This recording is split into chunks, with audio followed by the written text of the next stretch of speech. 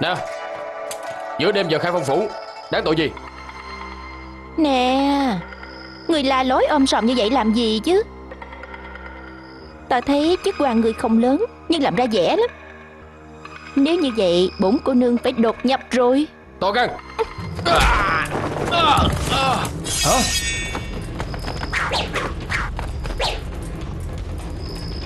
Hả?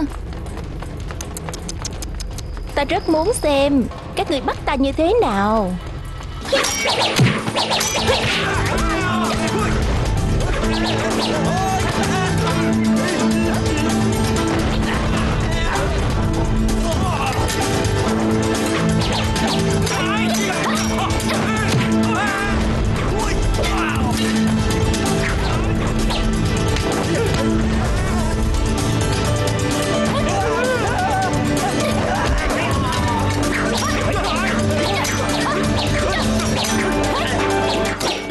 Dừng tay Dừng tay Dừng tay Cô nương lại Tại sao đến khai phong phủ gây sự? À, Hai người có phải là Trương Long và Triệu Hổ không? Hả? Cô nương nhận ra bọn ta sao? Tuy ta không quen biết với các ngươi Nhưng ta biết các ngươi. Người của khai phong phủ Bổn cô nương biết nhiều lắm đó. Cô nương Thực ra cô nương lại Ta tên là Triển Dân. Triển Chiêu là đường huynh của ta.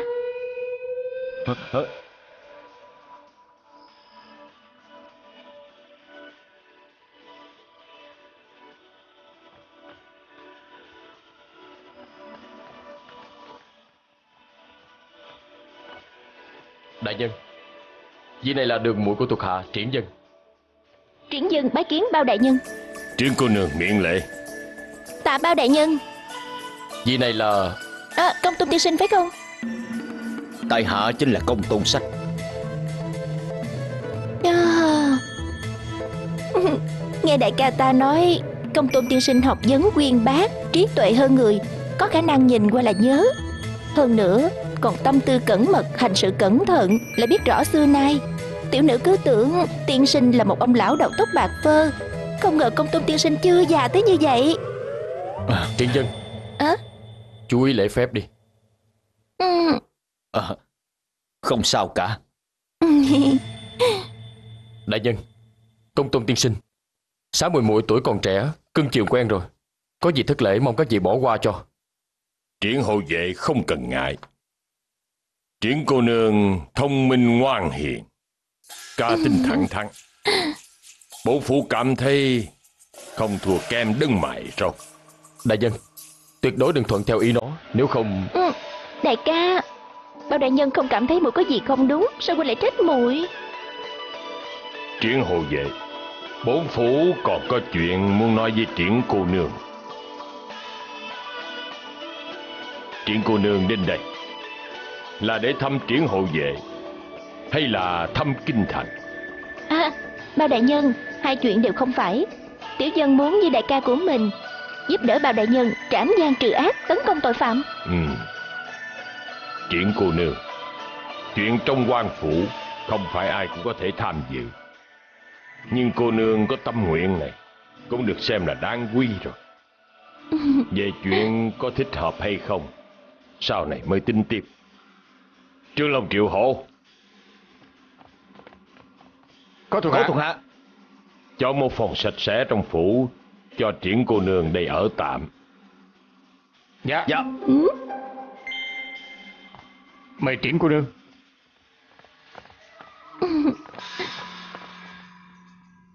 Ôi trời ơi. Muội thật là Tới khai phong phủ cũng không nói một tiếng nữa. Muội muốn cho huynh ngạc nhiên mà. Ngạc nhiên hả? Muội vừa mới tới đã gây ra phiền phức cho huynh rồi.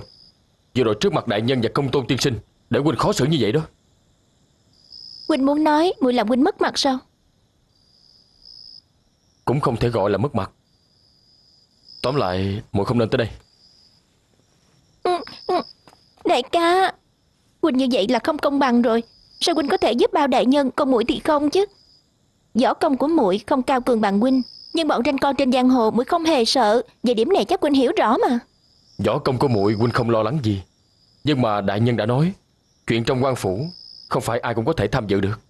Muội như vậy không phải làm khó người ta sao? Ừ. Ừ. Nhưng bây giờ muội đã đến rồi. Phải làm sao đây? Còn sao nữa? Đơn giản thôi. Ở vài ngày chơi vài ngày. Rồi về nhà đi. Về nhà hả? Ừ. Muội không về nhà Không dễ gì muội mới trốn. Muội nói cái gì? Muội trốn ra đây hả Muội tới đây không nói cho người nhà một tiếng sao? Ừ, Nếu như muội nói Nếu như muội nói Họ có cho muội ra ngoài không chứ? Muội biết là tốt rồi. Vậy thì không cần phải nói nữa. Làm theo lời huynh. Ở lại đây vài ngày Sau đó về nhà đi. Ừ. Đi ngủ đi. Đi đi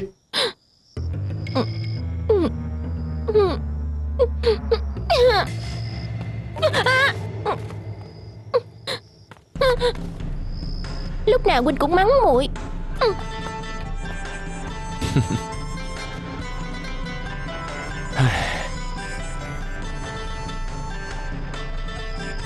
Được rồi cảm ơn cảm ơn. Lão quan gia Khi nào chúng ta mới có thể đến Đăng Châu đây? Ừ.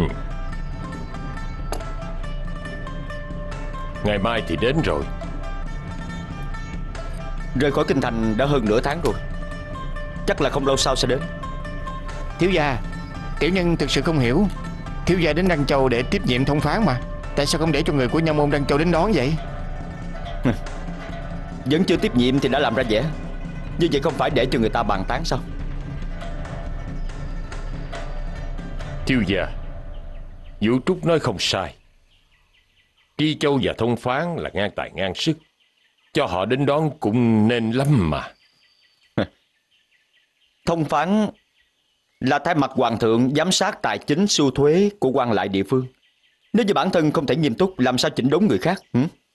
Nói như vậy là đúng Nhưng nơi này dù sao cũng không như kinh thành Có một số sự việc khác xa rất nhiều Thiếu gia Nếu như quá cố chấp thì sẽ thiệt thòi Đừng phúc. Ừ, à, Được rồi, được rồi Ta không nói, ta không nói Ừm, Nếu không lại nói ta ý mình lớn tuổi Ta biết. Ông theo cha ta đã lâu, đã gặp rất nhiều chuyện. Nhưng mà ta có nguyên tắc nhất định của ta. Không thể đến nơi khác thì thay đổi dáng vẻ. Ông biết chưa? Hiểu rồi, hiểu rồi à, Nè Năm xưa lão gia cũng có tinh khí này đó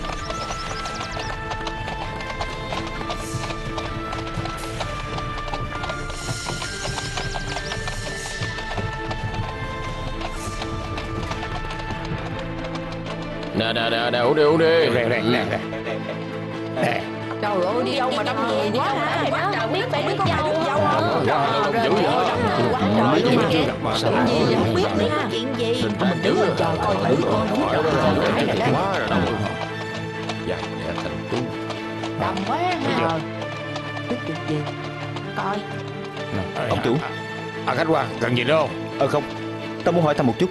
quan viên nào đi ngang đây vậy? Ờ nghe người qua đường đồn đó là bao đại nhân à Bao đại nhân nào? À đó là phụ doãn phủ khai phong bao thanh thiên bao đại nhân Không ngờ lại gặp được bao đại nhân ở đây. Cảm ơn ông chủ. đừng cái sao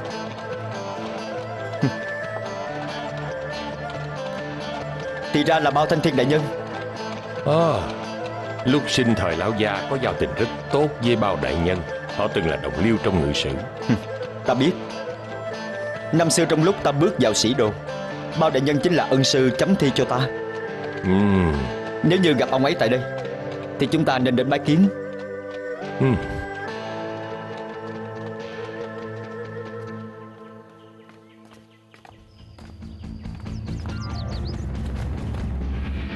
Học trò bái kiến ân sư.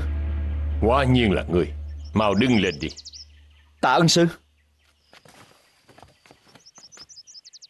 Sao ngươi lại xuất hiện ở đây? Học trò được phái đến Đăng Châu Để nhậm chức thông phán.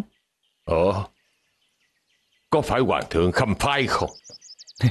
Đúng vậy. Ừm. Chức vụ thông phán Đa số là thân tín của hoàng thượng. Chứng tỏ Hoàng thượng rất ân sủng người.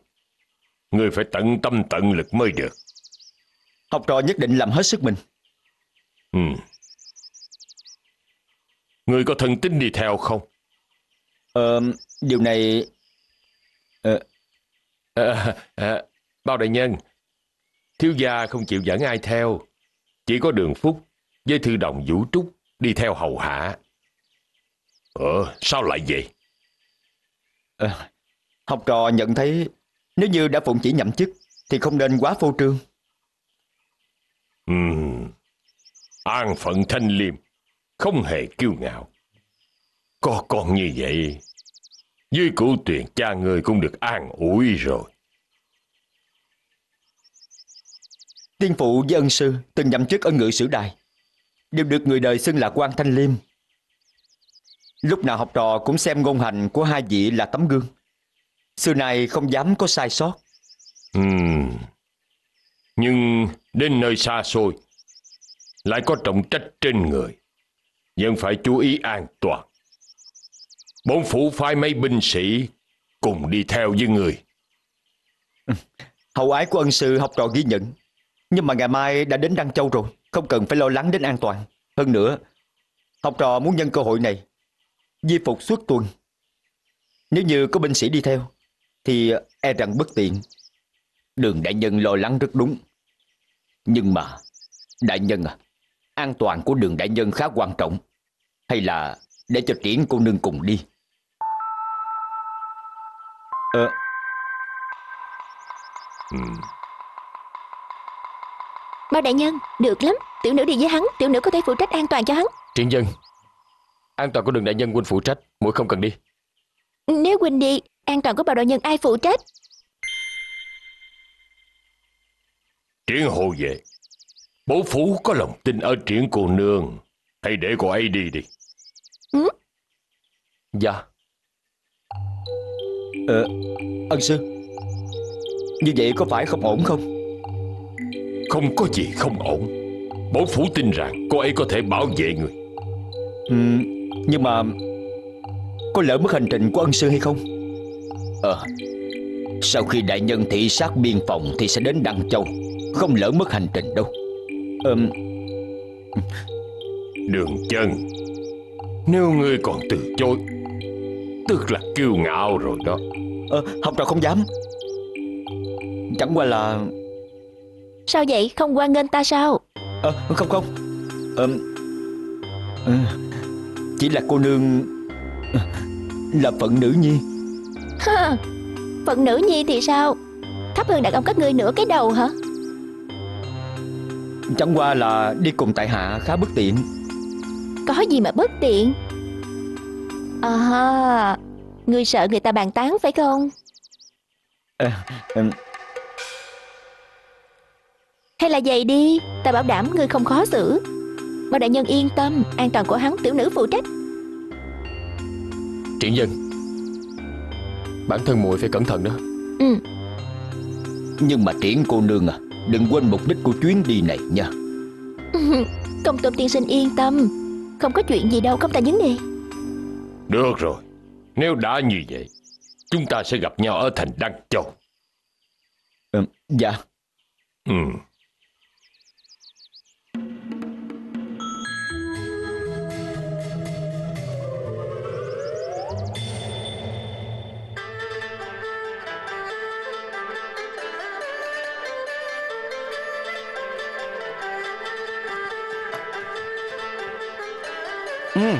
khó hiểu thiệt á.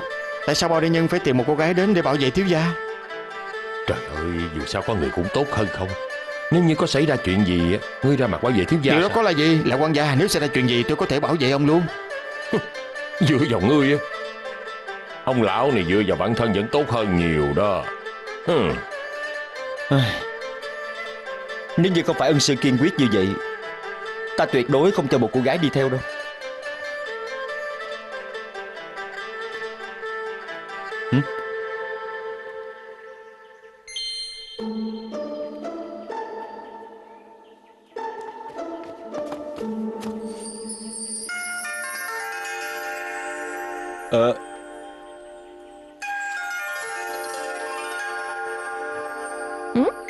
Sao vậy?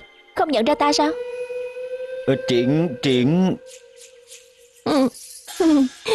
Gọi tên của ta đi. Ta tên là Triển Dân.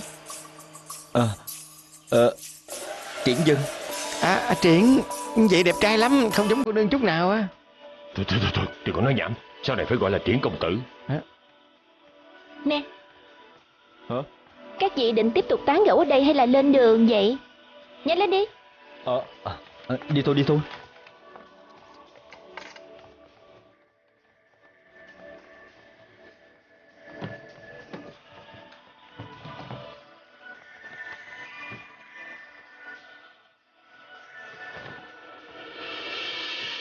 Nếu như triển hộ vệ đi Nhất định ai nấy cũng nhận ra Cũng sẽ suy đoán ra. Đại nhân đang chú ý thông phán. Trái lại sẽ làm hỏng mục đích chuyến đi này của đại nhân. Thì ra là vậy. Thuộc hạ hiểu rồi. Chỉ là làm như vậy Khiến triển hộ vệ lo lắng cho triển cô nương Bổn phụ cảm thấy hơi ai ngại Ờ, thuộc hạ không dám. Thuộc hạ lo lắng triển dân quá nghịch ngợm, kinh nghiệm trên giang hồ vẫn chưa có đủ. Sợ nó gây họa thôi. Quản gia đường Phúc Đã theo cha của đường chân Đã nhiều năm rồi Hành sự cẩn thận của ông ấy Chắc là không sao Đại nhân, có thể khởi hành chưa? Ừm Dạ. Khởi hành!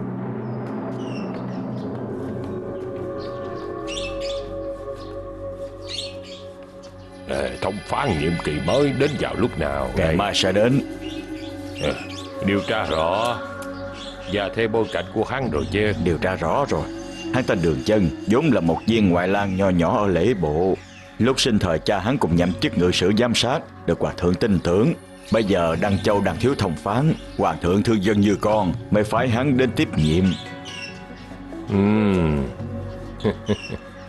Ngươi hiểu hắn được bao nhiêu? À, Không phải tại hạ khoác lác.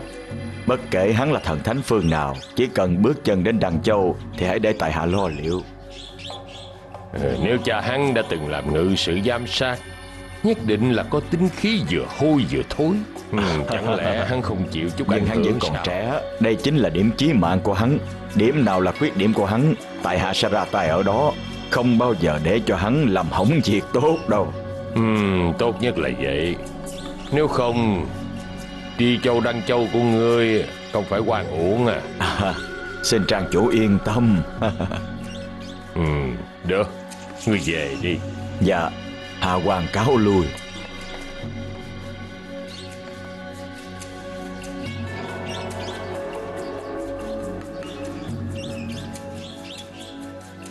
Để cho Trình Nguyên thử trước đi Nếu như không được Mới để cho người ra tay ừ.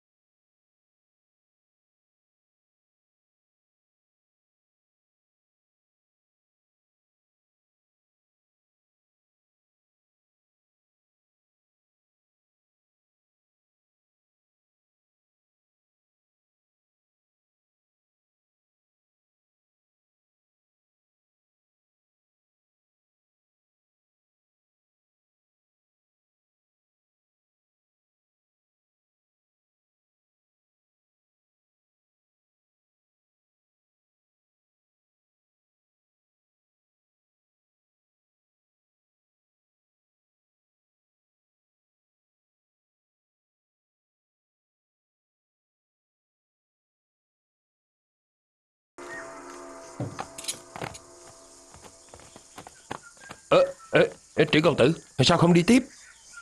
Ờ, mời thiếu gia nhà ông xuống kiệu đi. Ờ, ờ, à,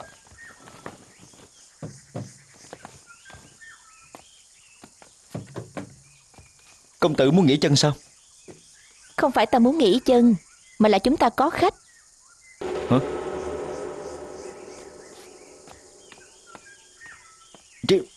À, à, Triển dân Để cho ta.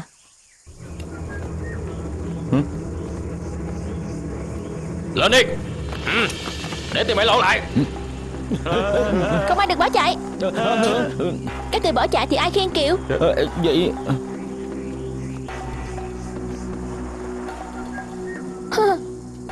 Ta tưởng là Giang Dương Đại Đạo từ đâu đến nữa. Nhìn dáng vẻ các ngươi đi. Có giống đi ăn cướp không hả? Mọi người lên đây! Các ngươi không lên hả? Ta lên đây.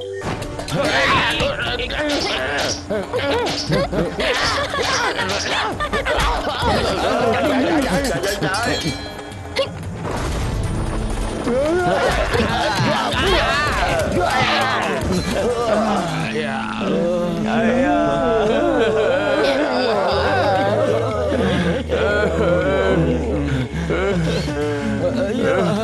tha mạng Chúng tôi không phải là cướp đâu Chúng tôi là nông dân thôi. Nếu như là nông dân Tại sao lại cản đường ăn cướp? Ở Vì quan phủ thu hết lương thực của chúng tôi rồi Già trẻ trong làng đều sắp chết đói rồi Chúng tôi không còn cách nào khác nữa Nên mới làm vậy. Thu thuế lương thực là có con số nhất định mà. Bây giờ cũng không có hạn hán Sao lại không đủ lương thực để ăn? Quan phủ nói vì phải chống trả giặc ngoài Cho nên phải thu thêm lương thực đó. Có chuyện này sao Xin ta cho chúng tôi đi Ta cho chúng tôi, cho chúng tôi đi Các người đi đi Sau này đừng làm chuyện cản đường ăn cướp nữa Cảm ơn, cảm ơn, cảm ơn Đi Khoan đã.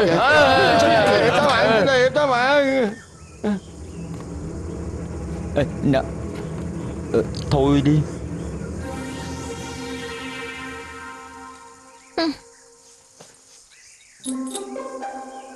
Cầm lấy. Mua lương thực đi. Hả? Ê, Cảm ơn, ờ, cảm ơn, cảm ơn. Cảm ơn, thôi, thôi, cảm ơn, mau đi Về đi lên lên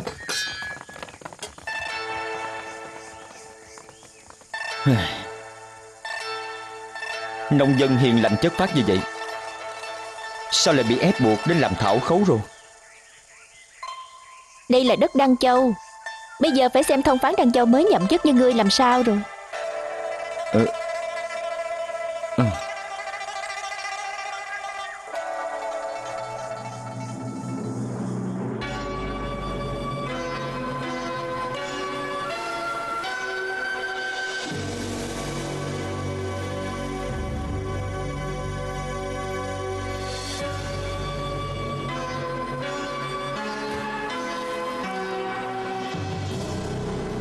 biển bên kia chính là nước Cao Lệ. Đi về phía đông chính là nước Hoa. Nơi đây chính là trọng địa biên phòng. Trong mấy năm nay Không hề nghe chuyện có dị tộc xâm phạm hải vực Hơn nữa chú quân ở biên phòng Cũng được xem là quân tinh nhuệ Đại nhân đừng quá lo lắng Không đâu. Đó là việc Cao Lệ với nước Hoa hiện giờ vẫn chưa có thực lực để xâm chiếm Đại Tông. Nếu triều đình không có chuẩn bị trước, không bao lâu sau, thì đó là mối họa lớn. Đại nhân lo cho dân cho nước Khiến người ta thật khâm phục đã nhận bổng lộc của triều đình thì phải tận lực làm tròn chức trách của mình.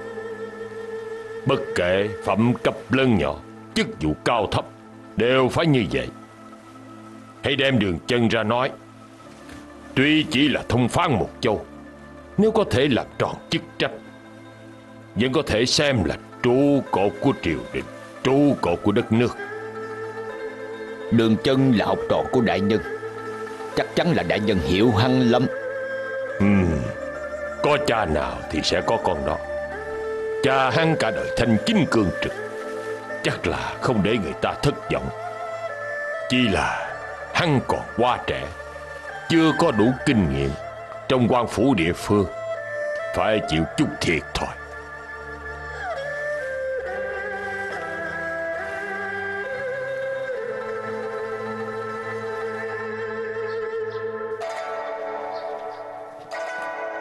Đường đại nhân trên đường vất vả rồi. Không dám không dám. Bổn quan mới đến Đăng Châu Mong trình đại nhân chiếu cố cho. À, Không dám không dám. Mời ngồi. À, Được. Thông phán là khâm phái của hoàng thượng Cùng nắm giữ chính sự một châu với tri châu Còn có quyền giám sát Nếu không làm sao có thể nói là quan giám châu. Kể ra sau này còn phải trông cậy vào đường đại nhân đó. Nhớ đề bạc cho hạ quan nha. Quá lời rồi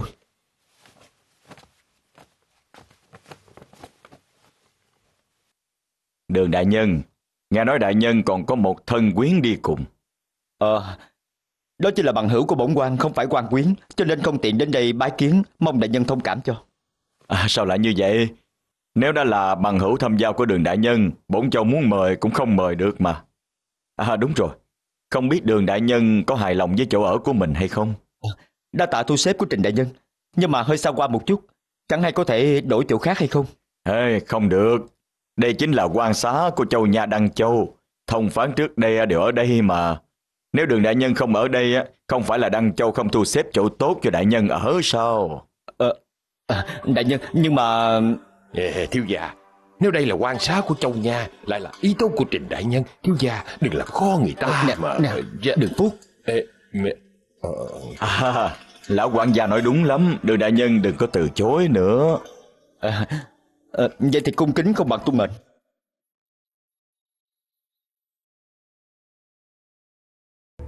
Vậy thì cung kính không bằng tuân mệnh. Hay quá hay quá. Đường đại nhân đến đây nhậm chức. Tối nay bổn châu sẽ bài tiệc đón gió cho đường đại nhân. Xin đường đại nhân nhất định phải nể mặt đó. Tiếp đãi qua lại thì tốn kém lắm. Xin miễn đi vậy. Hey, Lễ không được bỏ Không miễn được. Hơn nữa quan viên châu này và phụ lão địa phương Dù sao cũng phải gặp một lần mà. Nhân cơ hội này chúng ta gặp nhau đi. À, Vậy Ê, thiếu gia trình đại nhân nói không sai. Thiếu gia vừa mới nhậm chức đúng là phải à, gặp mọi người. À, Cũng được. Bốn quan sẽ đến dự. À đúng rồi. Đường đại nhân. Vị bằng hữu của đại nhân cũng mời đến dự đi. Điều này à, có thích hợp không? Hey, Thích hợp thích hợp mà đương nhiên là thích hợp Yến tiệc ngoài công vụ không kể đến hình thức Đôi bên phải rút ngắn khoảng cách. Đại nhân vừa mới nhậm chức Không thể lạnh nhạt với người ta mà. Nói ra ngoài e rằng bốn quan cũng mang tội danh Tiếp đãi không được chu đáo. Được rồi. Bốn quan sẽ mời hắn đi cùng. Mời ta ăn cơm sao? Đúng vậy. Thiếu gia Tại sao hắn muốn mời triển công tử dùng cơm vậy? Ờ, ừ. Ê, đây chính là văn hóa quan trường. Dù sao chuyện ăn uống họ cũng không móc tiền túi đều là tiền công quỹ. Công quỹ hả? Ông muốn nói là tiền của triều đình sao? Đúng vậy nhưng mà tiền của triều đình cũng là lấy từ tiền thuế của bá tánh cho nên tiền đó là tiền của bá tánh. Ừ. ừ. Cho nên Người cướp chúng ta hôm nay Lương thực của đám nông dân đó đã nộp cho quan phủ Sau đó biến thành cái gọi là công quỹ Cuối cùng đem ra mời chúng ta ăn cơm điều này uh, gần như là ý này đó. Đường chân đường đại nhân. Vậy thì thứ chúng ta chứa trong bụng tối nay Đều là mồ hôi nước mắt của đám nông dân đó rồi. Hay là chúng ta đừng đi. Không được. Bây giờ không ăn cũng không được rồi. Tại sao vậy? Nếu chúng ta không đi Họ nhất định sẽ loại trừ ngươi. Ngươi còn muốn làm thông phán nữa không Nếu không làm sao ngươi biết ai là quan tốt ai là quan xấu? Làm sao ngươi biết Nha Môn Đăng Châu đã bóc lột nông dân như thế nào? Làm sao ngươi làm việc cho dân được? Điều này nói rất đúng. Không ngờ triển công tử hiểu biết như vậy. Thiếu gia thật ra đây chính là nguyên nhân ta khuyên thiếu gia ở lại đây và đồng ý dự tiệc. Ừ. Ta hiểu rồi. Vậy thì ta phải đến đó để xem cho rõ. ừ.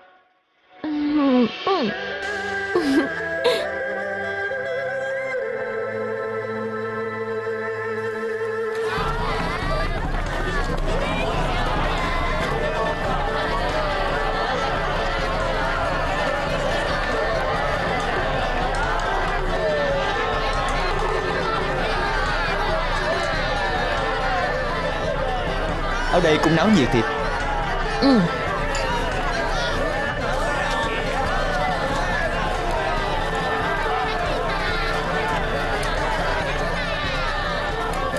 Ha, quan phủ đại khách cũng không cần xa xỉ như vậy mà. Mời vị thông phán mới nhậm chức như ngươi ăn cơm Không lên đình một chút làm sao có thể tỏ rõ thành ý? Nhưng mà Như vậy cũng là quá đáng rồi. Không phải nói rồi sao? Họ ăn xương máu của dân Có gì mà đau lòng? Ừ, ừ, như...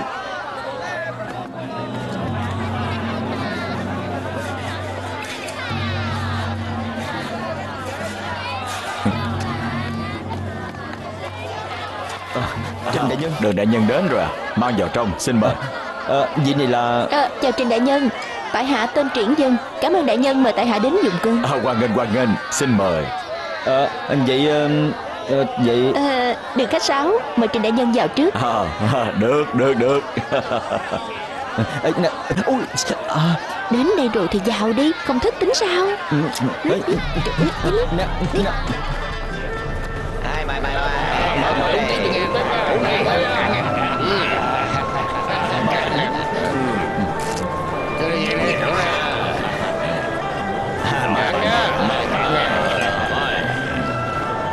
ừ, ừ, à, Các vị Vị này chính là quan thông phán mới nhậm chức của Đăng Châu chúng ta Đường chân đường đại nhân Chào đường đại nhân Chào đường đại nhân Đường đại nhân Đường đại nhân Hãy để bổn quan lần lượt giới thiệu với đại nhân nha Xin làm phiền à. Bàn này á, đều là hương thân phụ lão của Đăng Châu Chào đường đại nhân Chào đường đại nhân Mong các vị hương thân chiếu cố cho Khách sáo khách sáo khách sáo Khách sáo này không theo Vị thông phán thấy còn trẻ quá ha. Còn bàn này á Đều là quan viên các cấp của Đăng Châu. Chào đại Chào. Các vị đồng liêu Miễn lễ Sau này sẽ ủng hộ thêm. Uống tiếp đi à, Đường đại nhân. À, Mời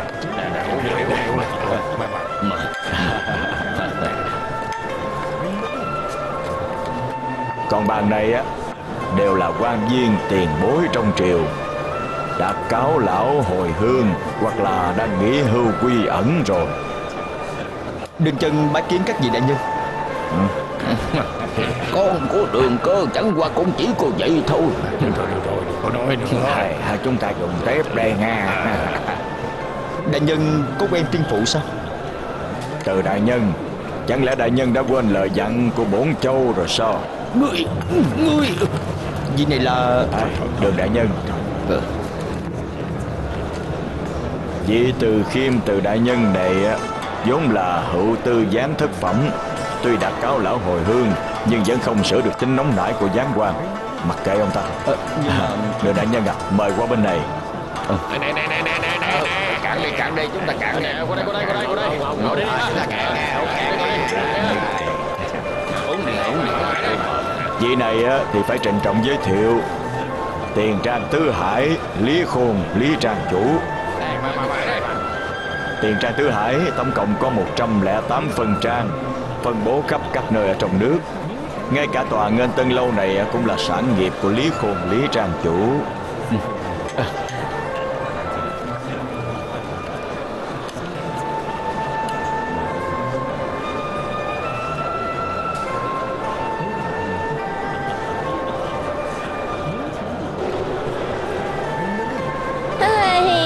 Đáng tiếc thiệt là đáng tiếc. Không biết ờ, triển công tử đáng tiếc điều gì hả? Ly Trang chủ quả là nhà lớn sản nghiệp lớn. Điều bốn công tử lấy làm tiếc Là tuy ông ấy giàu có một phương Nhưng không phải không thể làm được gì. Ờ Vậy ý của triển công tử là? Không ngờ Lý Trang chủ vừa mù vừa điếc lại vừa câm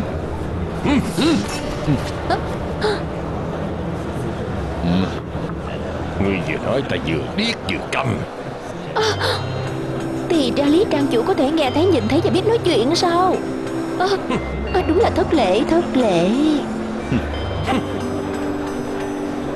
Nhưng mà Lý Trang chủ đã nhìn thấy thông phán mới nhậm chức của Đăng Châu. Mệnh quan triều đình được hoàng thượng khâm phái Cũng có thể không đếm xỉa đến Cũng không mở miệng nói một câu. Hèn chi tại hạ phải hiểu lầm.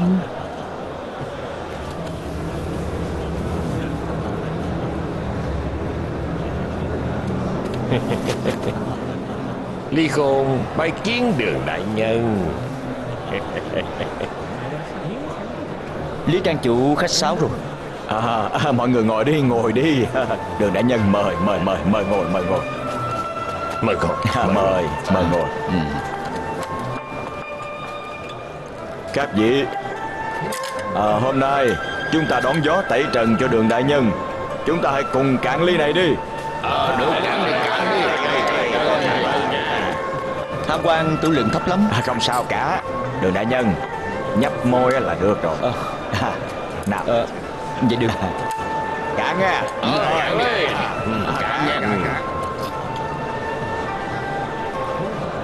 Hôm nay hiếm khi hội tụ Không khí quan lạc tuyệt đối không thể thiếu được. Lý Trang Chủ nói có đúng hay không? Điều đó tất nhiên rồi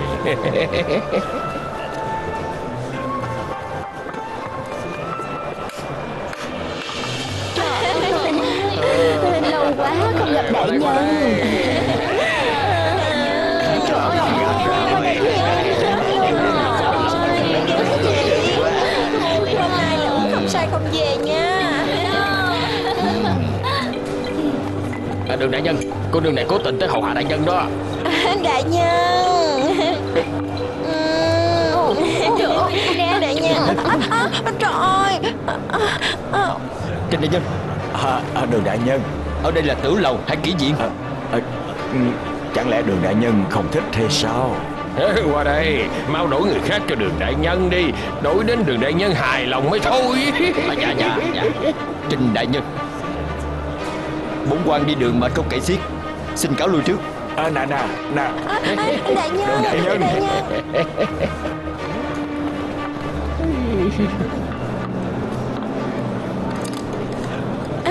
Trời ơi Vẫn là còn trẻ mặt mỏng.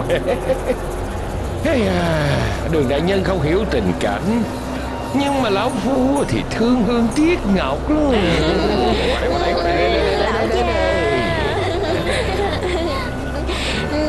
uống nha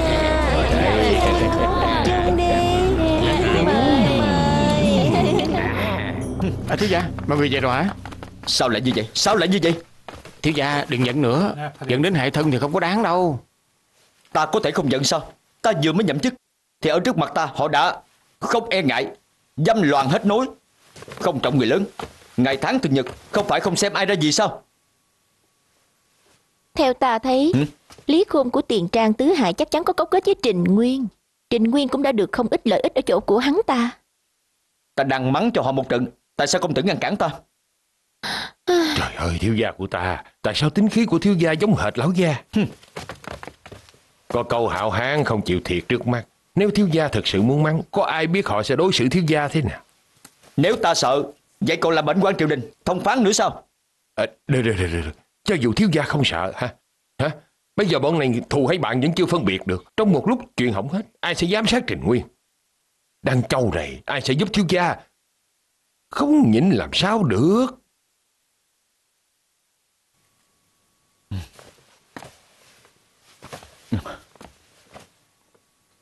Hai hôm nay quả thật có nhiều cảm xúc. Mới đến Đăng Châu, Thì đã gặp bá tánh nông dân. Bị nạn đói, Ép buộc đến trở thành đạo tặc. Bây giờ lại nhìn thấy bọn Hoàng thương cấu kết Phung phí xa xỉ Đều là ở Đăng Châu Nhưng lại là hai cảnh tượng cực đoan.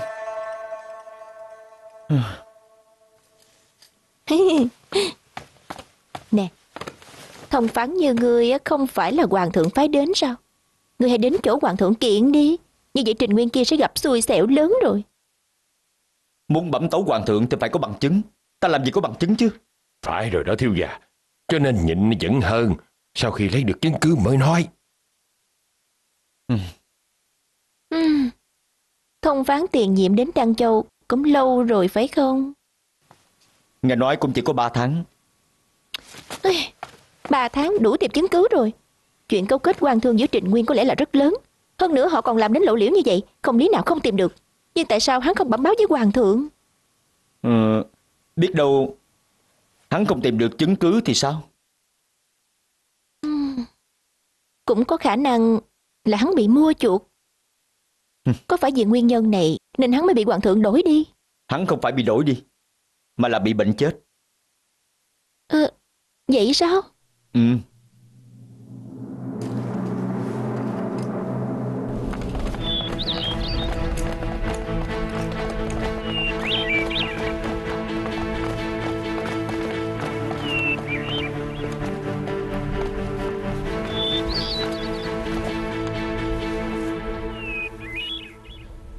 Chỉ huy hồ. Có mặt tướng. Người thân là chỉ huy bộ binh của cấm quân Đăng Châu. Quanh năm trú quân nơi này Vất vả rồi. Đây là chức trách của mặt tướng Không dám kêu khổ. Ừm. Bộ binh Đăng Châu dáng vẻ hùng mạnh Quân kỷ nghiêm minh. Bổn phụ thấy được an ủi rất nhiều. Sau khi hồi kinh Nhất định báo lại mật khu diện liệt vào quan bình Làm cơ sở để thăng chức sau này. Đa tạ bao đại nhân đề bạc Không phải bổn phủ đề bạc Mà là ngươi làm tròn trách nhiệm Đang được như vậy. Sau này ngươi phải làm tốt hơn Không được sai sót. Dạ. Còn hai doanh trại bổn phủ vẫn chưa xem. Ngày mai sau khi xem xét xong Bổn phủ sẽ trực tiếp đến Đăng Châu Thành. Ngươi không cần đi cùng. Dạ Mời bao đại nhân vào lều nghỉ ngơi. Làm việc của ngươi đi Bổn phủ xem xét doanh trại một lúc. Dạ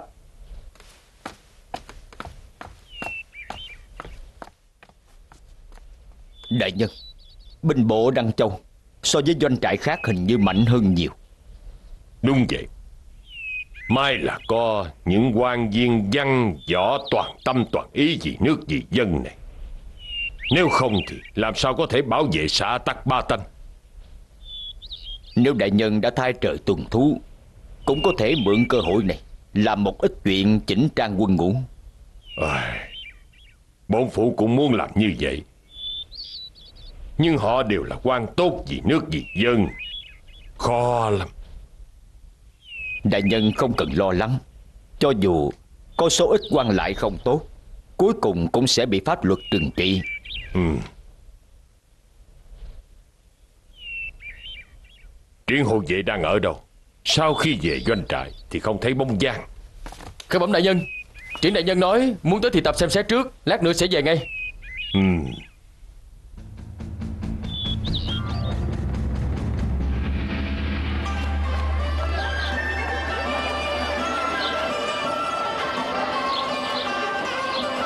Bánh bao bánh bao đây. Cái kẹo hổ lô kẹo hổ lô. Lòng đèn xanh, lòng đèn đỏ đây, ghé vô đây Thẩm ơi, ghé vô. Kẹo hổ lô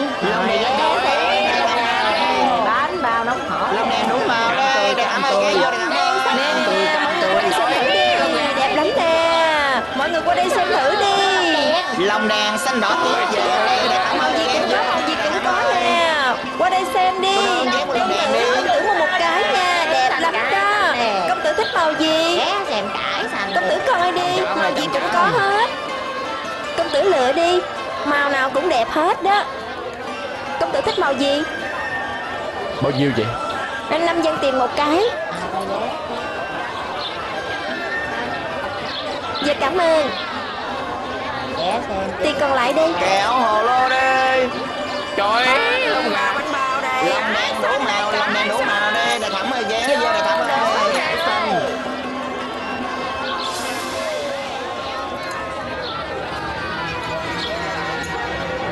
Cho tôi coi thử cái này đi. Đây đây đây. Ê rồi xem luôn nha Hàng rẻ hàng đẹp đây Gì cũng có hết Có lửa tự nhiên. Lòng đèn đi. Trời ơi, quạt đẹp lắm. Mua đi tiểu thơ ơi. Cái này cũng đẹp nữa nè. à, Tôi muốn coi thử cái này. Dạ Giúp lựa là đi. Tôi cũng mua một cái luôn nha. Đúng rồi, cái này đẹp nè. Tôi cũng mua một cái. Rồi, ghé. Tơ lụa thượng hạng đấy Rẻ đẹp bền nè. Rồi, ghé xem nè. Xin mời Vì trước đây bốn châu không biết Đường đại nhân không háo sắc Cho nên tối hôm qua đã mạo phạm đại nhân Xin đại nhân thứ tội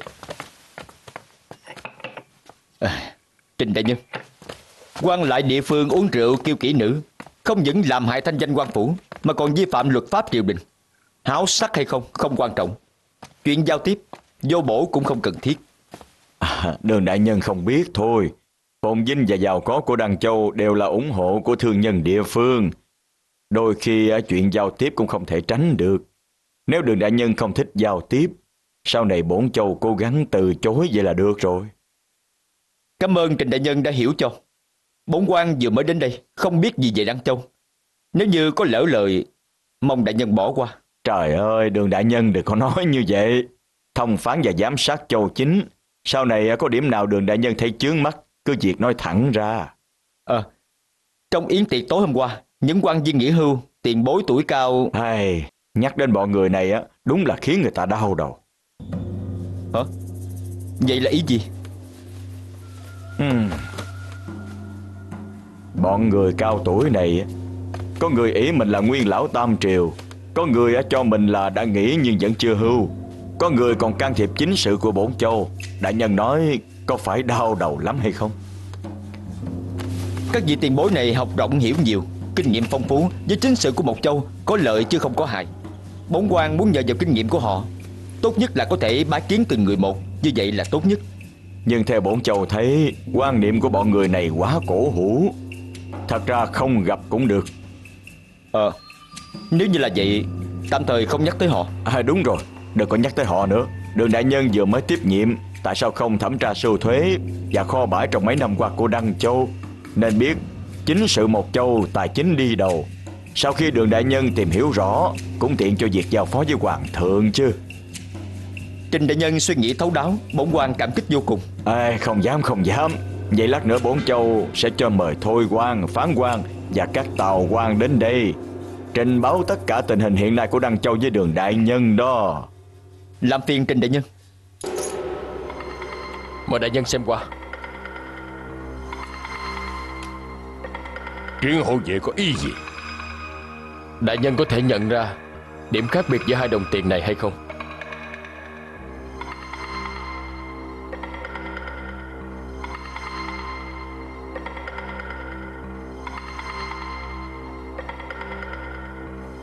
Hai đồng tiền này ngoài chuyện mới và cũ ra Không có gì khác biệt Công tôn tiên sinh Tiên sinh cầm thử đi. Ờ. Ừ.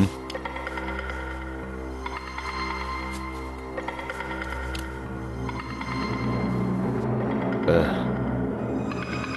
Trọng lượng của hai đồng tiền này Đúng là có khác. Không sai. Khác biệt không lớn lắm Nhưng trọng lượng đúng là có khác nhau Tiền cũ sử dụng đã lâu Có lẽ đã bị dính bẩn, Hoặc là đồng tiền đã bị xét. Vì vậy trở nên hơi nặng, Cũng có khả năng. Đây đều là tiền cũ, Trọng lượng cũng gần như nhau. Nhưng điều thuộc hạ cảm thấy lạ là, Tiền cũ trái lại nặng hơn tiền mới. Ờ Ừ. Tiền mới đúng là hơi nặng. Như vậy trái với lẽ thường tình. Tiền đồng triều đình tung ra. Tuy là có tiền dám chuyên môn phụ trách đúc chế. Nhưng mỗi một đồng tiền Phân lượng nặng nhẹ Không tránh khỏi sự khác biệt. Điều này không có gì lạ. Nhưng gần như mỗi đồng tiền mới đều nhẹ hơn tiền cũ. Hơn nữa qua văn trên đó cũng có chút khác biệt. Thuộc hạ nhận thấy đây chính là điểm không bình thường. Ừ. Ừ. Nhưng qua văn của tiền mới Đúng là hơi thô. Hơn nữa trọng lượng Đúng là có khác. Không lý nào. Tiền mới trước khi xuất xưởng Đều có phái chuyên nhân phụ trách kiểm nghiệm. Nếu có sai sót Lập tức tiêu hủy đúc lại Không thể cho lưu hành ra bên ngoài. Đại nhân Như những đồng tiền này Đều là thuộc hạ đổi từ thị tập về. Ừ. Chẳng lẽ là Quy tạo tiền giả. Đại nhân Trước đây đúng là đã có một số thương nhân vàng trá đúc tiền giả để mưu lợi.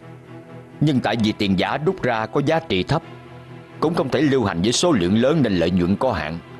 Đang ly trà không ai dám mạo hiểm phạm tội chém đầu. Cho dù có người mưu cầu lợi ích phi pháp nhưng bây giờ đã lưu hành ra ngoài E là khó mà điều tra nguồn gốc Nhưng theo quan sát của thuộc hạ Và lời nói của người bán hàng Người sử dụng số tiền này Đều là binh sĩ trong doanh trại. Thị tộc ở ngay phụ cận doanh trại Mỗi gian hàng đều thu không ít. Hả? Có chuyện này sao? Đại nhân Chẳng lẽ nguồn gốc của tiền giả này Là ở trong cấm quân Đăng Châu? Đại nhân Chuyện này có nên tiếp tục điều tra hay không nếu như đúng là lợi dụng tiện lợi quân doanh, Lưu hành tiền giả, Thì chuyện này không phải nhỏ rồi. Không những ảnh hưởng đến tài chính triều đình, Thậm chí còn lây chuyện đất nước. So với thông phan Đăng Châu trước đây, Không biết có phải bị bệnh chết hay không, Quan trọng hơn nhiều. Chuyện này không thể không điều tra.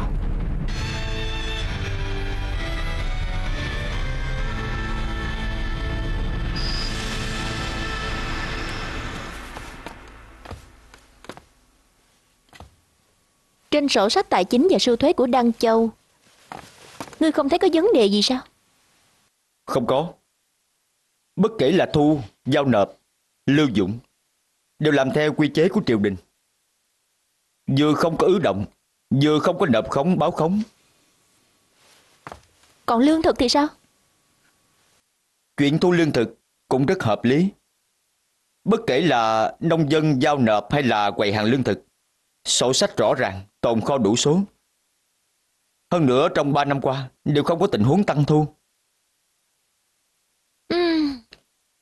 Nói như vậy Sổ sách của Đăng Châu có thể nói là làm rất hoàn chỉnh. Không những hoàn chỉnh đầy đủ Mà thậm chí còn có thể nói là Lớn nhỏ khớp nhau Không có sai sót. E rằng quan phủ địa phương trong cả nước Không có nơi nào sánh bằng Vậy thì quan viên lớn nhỏ trong châu nhà nói thế nào? Đăng Châu trong miệng của họ Có thể nói là tấm gương điển hình Trong 15 lộ 128 điểm phủ châu quận quyện của triều đình Đại Tống Gần như không có khuyết chỗ nào. Vậy thì lạ thật? Đúng vậy á Nếu như quả thật như vậy Đám nông dân kia tại sao phải cản đường cướp của để trở thành cường đạo? Trong này nhất định là có nội tình Tuyệt đối không đơn giản như vẻ bề ngoài. Nhưng mà Nếu như muốn biết sự thật từ châu nha Bây giờ xem ra không có khả năng rồi. Ừm, Theo ta thấy Từ miệng của những quan viên nghỉ hưu Chắc là nghe được sự thật Tìm được chân tướng. Đúng Nhận xét của ta với công tử hoàn toàn giống nhau. Ta cũng đang định bái kiến từng người một Bắt tay tìm hiểu ở trên người họ Nếu như ngươi muốn hỏi thăm chuyện này từ những quan viên nghỉ hưu đó Thì phải mau chóng đến gặp họ. Trình Nguyên nhất định đã có đề phòng trước. Hình như hắn có ý không cho ta gặp họ. Hắn cho ngươi gặp chẳng lẽ ngươi không gặp sao? Chỉ là ta không biết là tìm ở đâu thôi. Ừm, Không thành vấn đề. Giao cho ta đi. Ta sẽ đi tìm họ. Thiếu gia Có một ông lão tên Từ Khiêm cầu kiến. Ông ta nói tối qua đã gặp thiếu gia Thiếu gia có tiếp hay không? Đến rất đúng lúc. Mà mời ông ta đến đại sảnh nói chuyện đi. Dạ. Thiếu gia Thiếu gia quen ổng hả? Ông ta chính là một trong các quan viên đã nghỉ hưu. Vô duyên vô cớ ông ta không tìm đến đây đâu. E rằng muốn tìm được sự thật Phải bắt đầu từ ông ta. Ừ. Để xem ông ta nói như thế nào. Ừ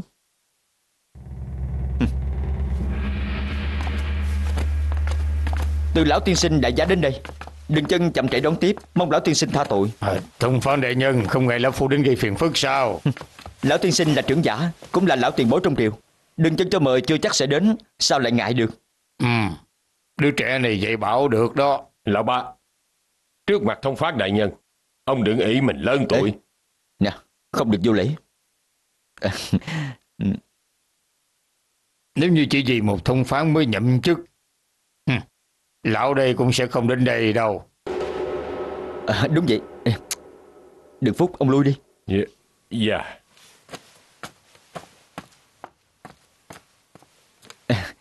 Lão tiên sinh Theo lời nói tối hôm qua Lão có quen với tiên phụ à? À Năm xưa trong lúc cha ngươi mới vào ngự sư đài Lão Phu đã nhậm chức hữu tư gián nhiều năm rồi. Đều là quan viên của tiên hoàng Cũng là cùng chức giám gián cho nên thường có qua lại với nhau. à, Thì ra là từ thế bá Tiểu Điệt thất lễ rồi À, năm xưa cha ngươi được người ta xưng là thanh chính, chắc là ngươi cũng không làm nhục thanh danh của tiên nhân chứ. à, Tiểu Điệt không dám À, hôm nay ta đến không phải để hàng nguyên, mà là có chuyện muốn nói với ngươi. Dạ được À, à, chào lão tiên sinh, tại hạ tên là Triển Dân là bằng hữu của đường đại nhân. À, ta nhớ ngươi rồi. Tối hôm qua trực tiếp phê bình Lý Khôn, kinh động mọi người. Ngươi quả thật là có can đảm. Lão tiên sinh quá khen rồi. Hôm nay lão tiên sinh đến chắc là có việc, có gì cứ nói, đừng để ý đến ta. à, Lão tiên sinh Tiên sinh không cần để ý Tiểu Điệt xin lắng tai nghe Ừ. Cái gì?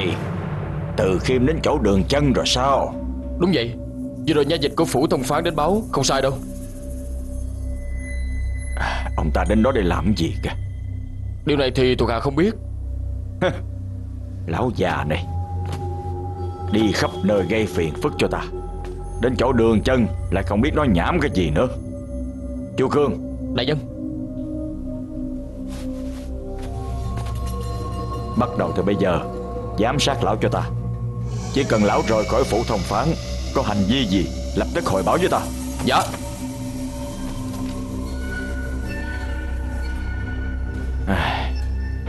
Hả Trình Nguyên là tri châu của Đăng Châu Vậy mà còn công khai xem thường dương pháp à Chuyện câu kết giữa hắn và Lý Khôn ở Đăng Châu này ai cũng biết hết. Họ ngang ngược như vậy, chẳng lẽ ở Đăng Châu không có ai quản được họ sao? Có chứ, nhưng mà không làm được gì cả. Vậy là thế nào chứ?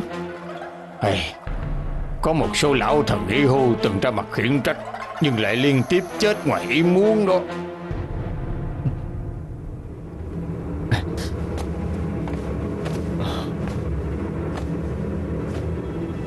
Có chuyện này sao? Bọn họ trên dưới liên kết Thật ra không thể điều tra ra chứng cứ gì Cho nên từ đó về sau Không ai dám ra mặt. Sao lại như vậy được chứ Chẳng lẽ thông phán trước đây Đều cá mẹ một lứa với họ sao? Lục Hân thông phán trước đây Cũng được xem là quan thanh liêm. Lý Khôn có ý mua chuộc Nhưng mà ông ta không chịu cá mẹ một lứa Khuyên mãi không thành. Cho nên đã thông qua mấy ông lão chúng tôi Giúp ông ta tìm chứng cứ Chuẩn bị tấu chương để báo lên hoàng thượng. Ê, Nhưng Tấu Chương vẫn chưa gửi lên trên Thì đã bệnh chết rồi. Ai, Nội bộ đều nói ông ta bị trúng độc mà chết. Hả? Không lẽ Ông ta cũng bị Trịnh Nguyên hãm hại. Ở Đăng Châu không ai làm gì được hắn. Chẳng lẽ không thể nhờ đại thần triều đình thay mặt sao? ai, Cũng không được đâu. Lão cũng đã nhờ người quen biết trong triều Nhưng mà vẫn như ném đá xuống biển Không làm được gì.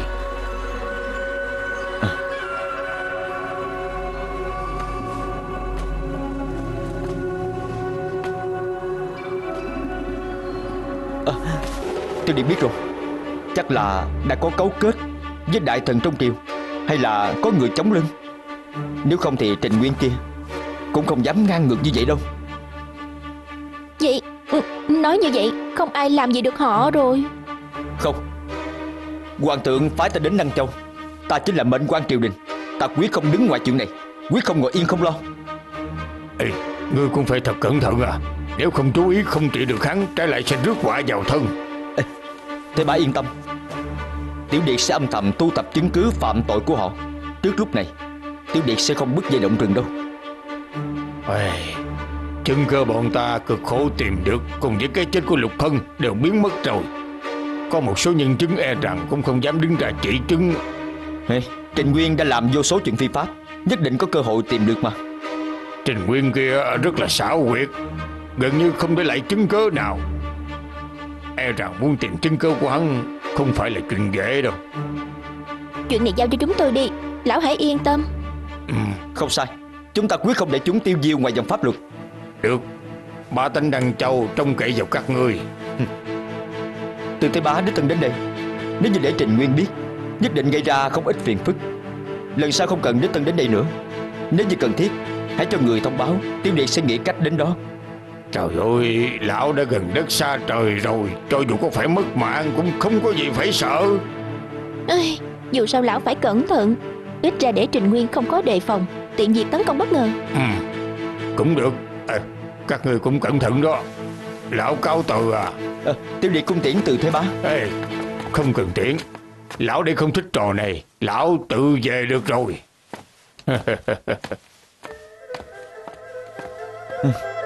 Những tiền bối trưởng giả này, Cả đời cống hiến cho nước. Sau lúc tuổi già, Vẫn không quên triều đình bá tánh. Đúng là khiến cho người ta khâm phục.